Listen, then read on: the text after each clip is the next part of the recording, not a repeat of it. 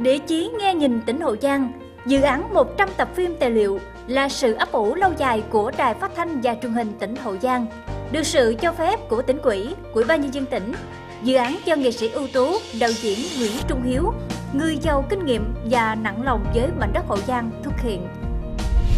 Địa chí giúp du khách, các nhà đầu tư tìm hiểu những thông tin chính thống về địa dư, địa chí, văn hóa, phong tục, tập quán, đặc điểm tự nhiên của tỉnh.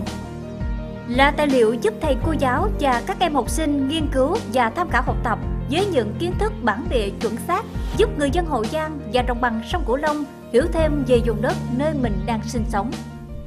Cùng với quyển sách Hậu Giang 15 năm thành tựu và phát triển, dự án là công trình có ý nghĩa kỷ niệm 15 năm thành lập tỉnh Hậu Giang. Địa chí nghe nhìn tỉnh Hậu Giang Địa chí nghe nhìn tỉnh Hậu Giang Quý vị thính giả thân mến, hôm nay chúng ta bắt đầu tìm hiểu tập thứ hai của Địa chí nghe nhìn tỉnh Hậu Giang. Lễ nghiệm thu giai đoạn 1 dự án Địa chí nghe nhìn tỉnh Hậu Giang và ra mắt sách Hậu Giang 15 năm thành tựu và phát triển sẽ diễn ra ngày 26 tháng 12 năm 2018 tại Đài Phát thanh và Truyền hình tỉnh Hậu Giang.